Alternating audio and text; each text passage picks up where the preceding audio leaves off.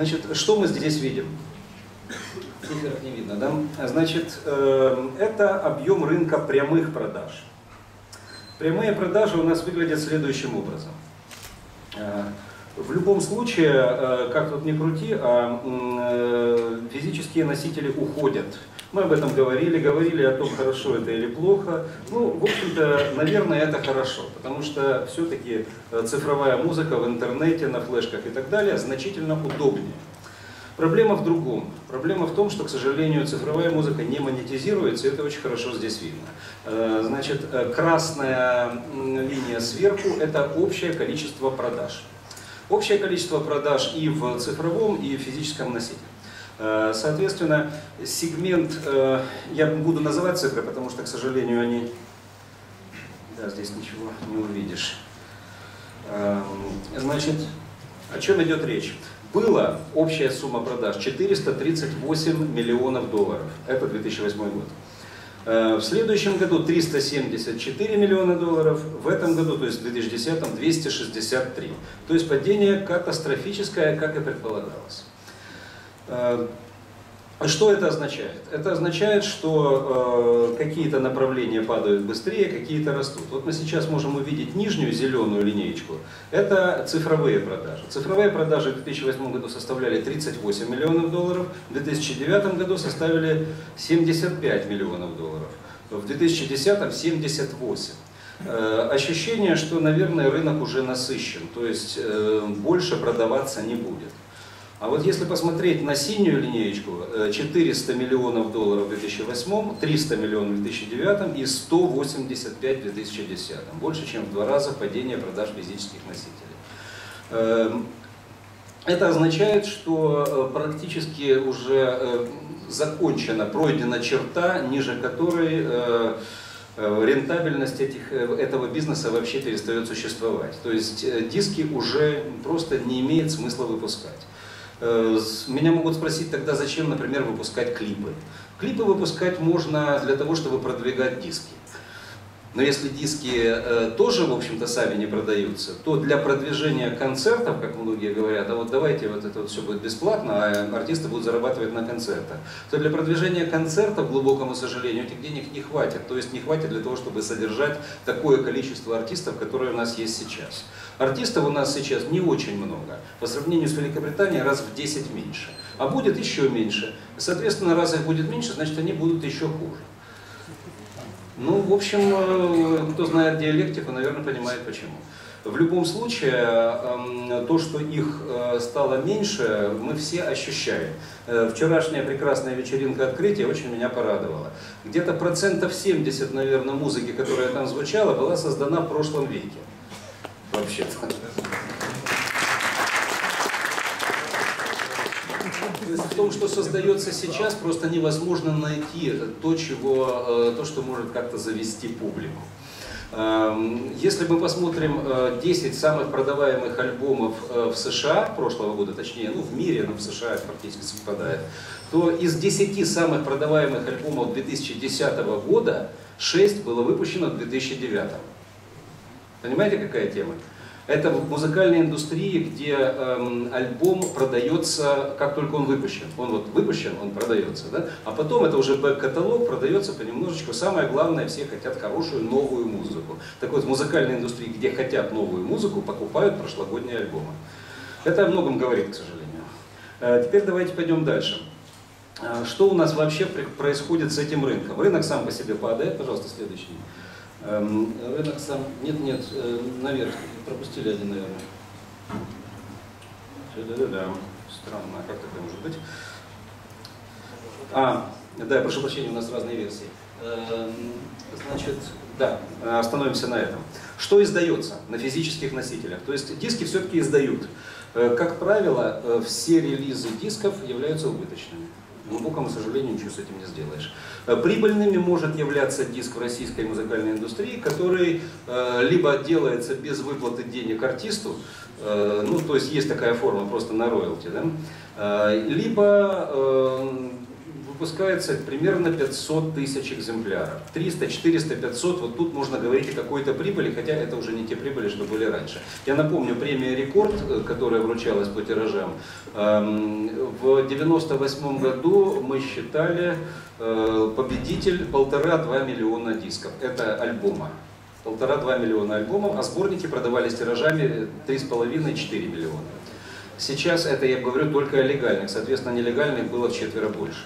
Э, в любом случае, диски э, имеет смысл сейчас издавать, но э, все понимают, что бизнес именно рекординговый практически заканчивается. Что издают? Опять, видите, странная история. Рок занимает какую-то фантастическую долю, несмотря на то, что все считают, что рок умер. Ничего, он не умер, вот он, пожалуйста. Но здесь без учета тиражей, сразу говорю, потому что это, это считать сейчас слишком сложно, где-то только через месяц-полтора мы сможем посчитать тиражи. Э, поп-музыка и эстрада, конечно же, занимает э, чуть ли не треть. Но это понятно, в России это на дисках любят, особенно на пиратских. Э, русский шансон довольно прилично здесь стоит, а вот танцевальная музыка вот примерно столько же, сколько в концертах, столько, столько же и на дисках продается. Э, джаз продается очень плохо, академическая музыка, э, которая имеет э, почти 6%, это очень высокий показатель. В мире где-то, я говорил уже, полтора, два, три в развитых странах. В развитых странах. В развивающихся вообще полпроцента, и, в общем-то, мы очень хорошо смотримся, можем собой гордиться. Ну, если больше нечем, то хотя бы этим. Пошли дальше, следующее. Структура рынка прямых продаж – Дмитрий Викторович, пожалуйста, жмите.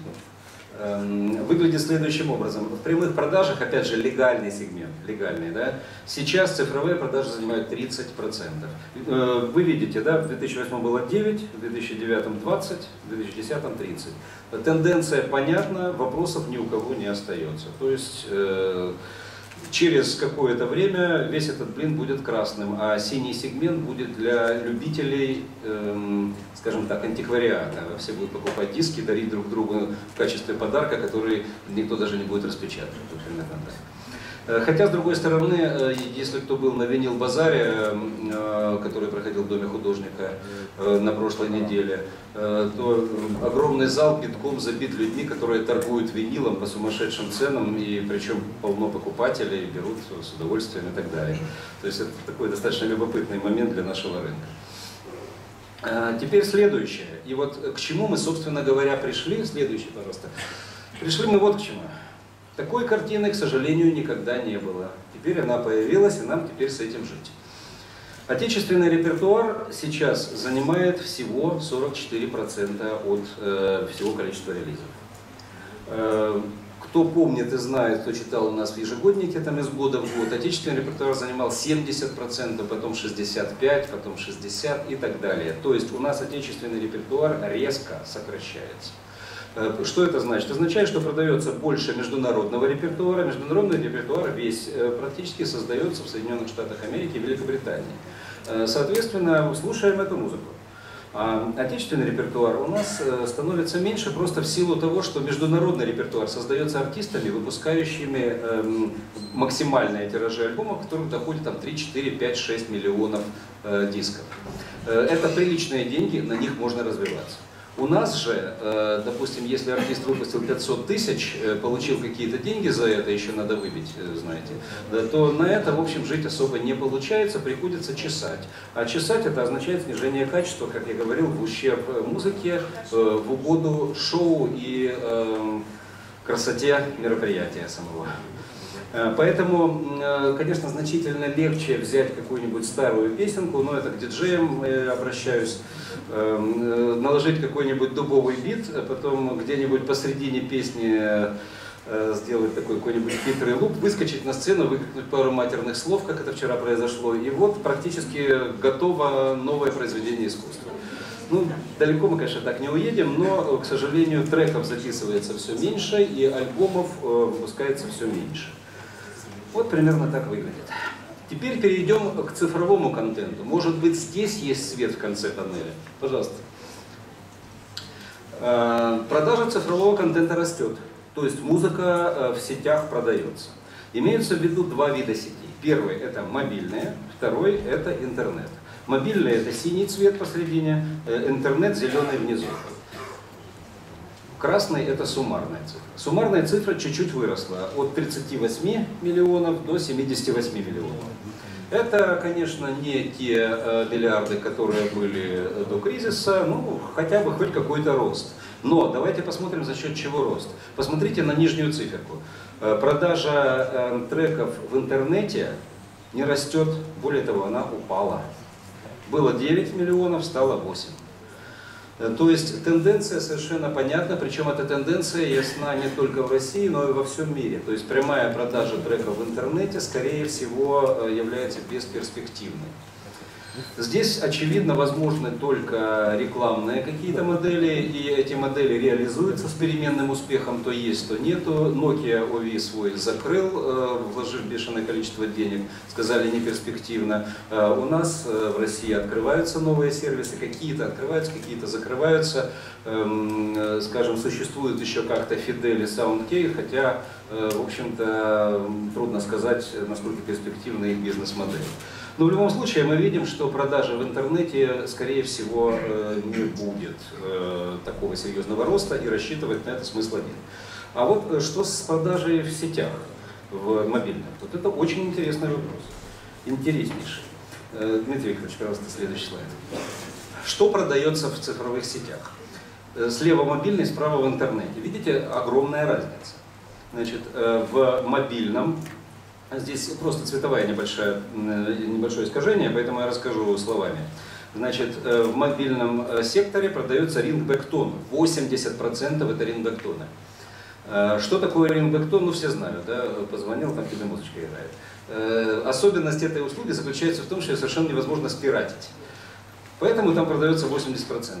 То есть это 80% денег, поступающих артистам и авторам за эту музыку, они на самом деле э, поступают только потому, что вся наша большая тройка операторов это очень, э, скажем так, большие, крупные фирмы, находящиеся под глубочайшим и серьезнейшим надзором, постоянный аудит и так далее, и они вынуждены платить деньги э, обладателям прав поэтому в мобильных сетях музыки продается значительно больше, чем в интернете. Хотя она там во много раз дороже. Ну, все знают, да, если в интернете можно скачать, э, допустим, какой-нибудь трек даже легально за 90 центов, то в мобильных сетях ты его будешь э, покупать уже там за 2,5-3 доллара. Э, в любом случае вроде бы невыгодно, но тем не менее продается. Почему? Ну, некоторым удобнее так работать, некоторые не считают деньги, и нужно понять, что вот если, допустим, у нас в мобильных сетях столько всего продается за реальные деньги, то сколько же будет продаваться в интернете? Если, конечно, сделать его легально. Но э, легально мы его пока сделать не можем я думаю, что не получится. Обратите внимание, что легально продается в интернете. В основном, конечно, продаются треки, то есть отдельные песни. 85%. 15% это альбомы. Скачивают еще из интернета альбомы, но все меньше и меньше. Наверное, это уже тоже перестанет быть интересным, за исключением тех альбомов, которые там давно вошли уже в классику и являются, э, в общем, э, как бы чем-то неразделимым совершенно. Э, что, а вот в мобильном э, интернете даже 2% есть на скачивание альбомов. 2% скачивают альбомы в мобильном интернете. Это очень интересная тема. Треки скачивают всего 18% и рингтоны, как я сказал, 80%. Соответственно, еще раз, вот если возможно вернуться обратно к предыдущему графику, мы видим здесь, что большая часть легальных цифровых продаж это сотовые сети, и связано это только с тем, что все они находятся под колпаком у правоохранительных и других органов. Если бы они не находились, они, я думаю, точно так же, как все наши интернет-провайдеры, спокойно пиратели э, музыку, которую, в общем-то, достаточно легко достать, а правообладатели ничего сделать не могут. А вот почему не могут сделать правообладатели, это мы сейчас к этому и перейдем. Перескочим через один слайд. Посмотрите, э, очень интересное исследование Руметрики в отношении ключевых показателей музыкального сектора Рунета. Э, сайтов, количество сайтов растет. Активность пользователей огромная. Видите, да, скачивают 53% пользователей Рунета. Скачивают музыку. Понятное дело, что вот здесь как раз уже не идет речь о легальной музыке. 53%. Покупают 25%. Э, тоже не идет речь о легальном, потому что э, очень часто нелегальные сервисы тоже продают, просто там в 5 раз дешевле. Ну и слушают онлайн, тоже непонятно, легальный, нелегальный. В любом случае мы видим, что э, пользователи Рунета на самом деле очень активны в отношении музыки. И, соответственно, покажу сейчас, как этим пользуются. Пожалуйста, следующий слайд.